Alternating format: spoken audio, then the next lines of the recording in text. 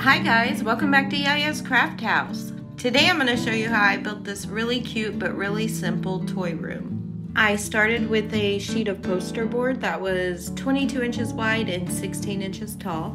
Then I measured out my windows leaving about a 1 inch space in between.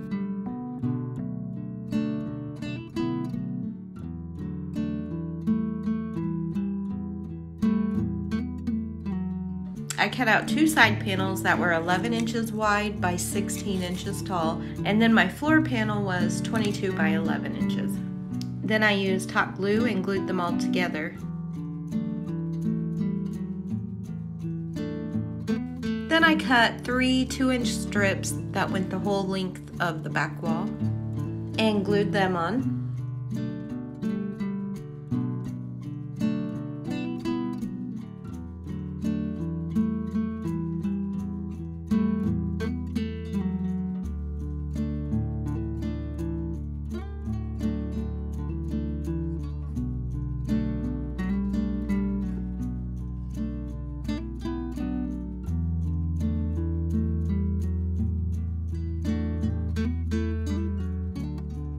I wanted the bottom cabinet to be bigger, so I made it about three inches and the top is almost two inches.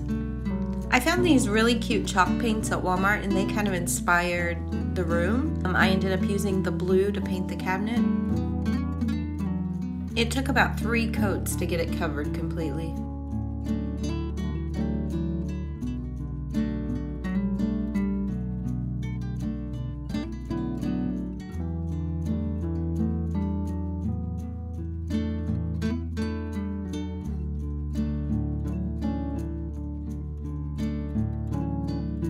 Then I used a pale orange scrapbook paper for the wallpaper. Next I cut out some strips for the window trim, painted them blue as well, and glued them on.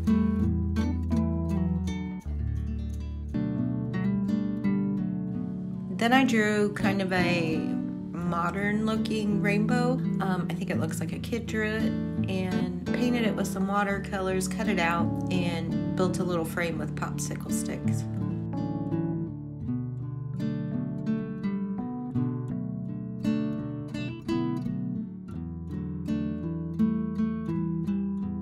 My nieces came over and decided to help me put um, all the toys in.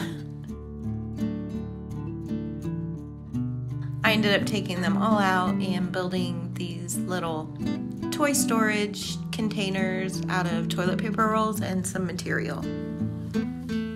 I cut the toilet paper rolls in half and then cut two inch strips of my material and just hot glued them on.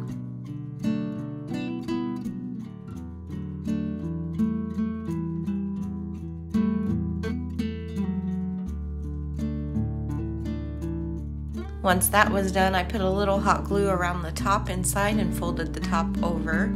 And then I cut out a base out of poster board and glued it in the bottom.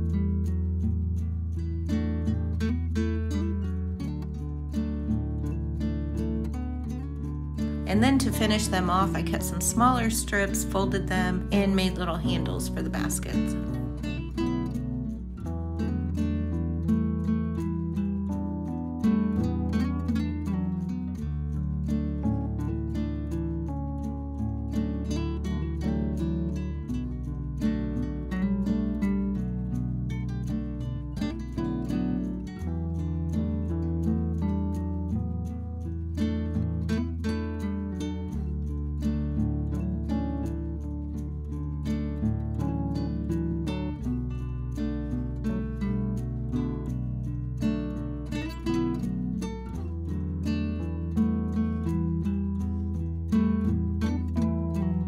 Had these little wall art frames from a previous project and I thought they would be perfect right above the art table.